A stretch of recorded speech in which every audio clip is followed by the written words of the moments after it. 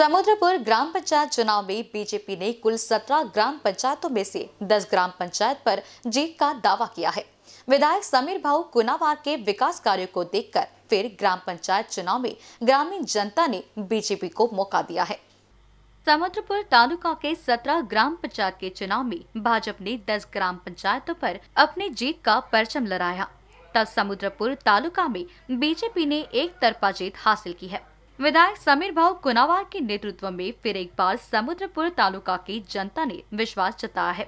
विधायक समीर भाव कुनावार ने विधानसभा क्षेत्र में विकास को प्राथमिकता दी है। इसलिए समुद्रपुर तालुका की 10 ग्राम पंचायत में बड़ी जीत हासिल की है। समुद्रपूर तालुक्यामध्ये सतरा ग्रामपंचायतच्या निवडणुका होत्या। सतरापैकी नऊ ग्रामपंचायतवरती भाजपचा झेंडा फडकला।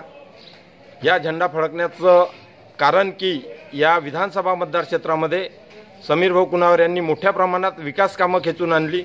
त्यामुळे जनतेने समीर भाऊ कुणावर यांच्या नेतृत्वावर विश्वास ठेवून सतरापैकी दहा ग्रामपंचायतीमध्ये निवडणूक जिंकल्या. या निवडणुकी जिंकल्या कारणाने मी समुद्रपूर तालुक्यामध्ये मधील भारतीय जनता पार्टीच्या कार्यकर्त्यांचं व सर्व नागरिकांचं अभिनंदन करतो. आज अ, हिंगणघाट समुद्रपूर विधानसभा क्षेत्रातल्या ग्रामपंचायतीची मतमोजणी पार पडली.